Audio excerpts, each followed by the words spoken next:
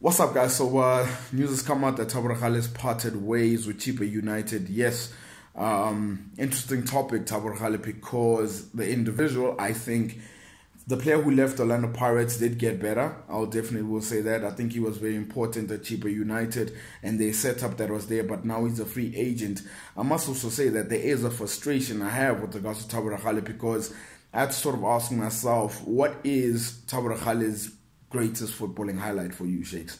And the answer that came out was the fact that he's a dribbler and he can dribble, and the fact that there's so many videos of him dribbling all over the place. If you Google Thabo Rakhale, those are the videos that go all over the place, especially the Orlando Pirates ones. And I just felt like a player with that ability definitely has to have a better end product. But I also had to check myself. So I went to Transfermarkt and I sort of checked his numbers out. And according to Transfermarkt, he's, he's been involved in 170 games within over 170 games within local football, but he's only scored 10.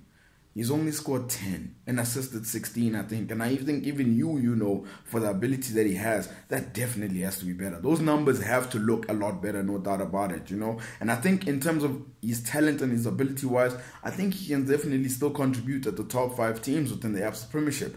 Mara, he needs to ask himself because he's got a big decision to make with regards to his career and what he wants wants what he wants his legacy to be remembered by. Do you want to be remembered as the guy who can ah Maya? Ah, he was good guy with his feet and stuff, or do you also want to be known as the guy with regards to the end product as well? He was really good at that because in terms of ability, his numbers should be looking a hell of a lot better than that, and anybody can attest to that who watches football. So big decision for him ahead.